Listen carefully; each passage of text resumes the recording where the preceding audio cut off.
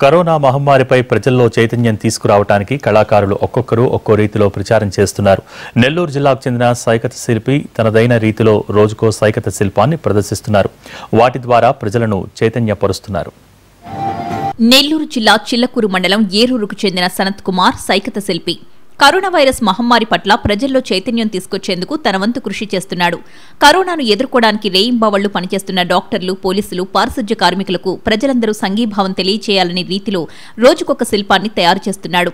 ఒడిశా సైకత శిల్పి సుదర్శన్ పట్నాయక్ని ఆదర్శంగా తీసుకున్న సనత్ కుమార్ అనేక వందల సైకత శిల్పాలను రూపొందించాడు. లేటెస్ట్గా salute to police COVID nineteen warriors నినాదంతో సైకత శిల్పాన్ని రూపొందించారు. దేశ ప్రజలంతా క్రమశిక్షణతో సామాజిక దూరాన్ని పాటించి అత్యవసర సమయాల్లో తప్ప బయటకు రాకుండా ఉండడమే మనం వారికిచ్చే నిజమైన గౌరవమని సనత్ అంటున్నాడు.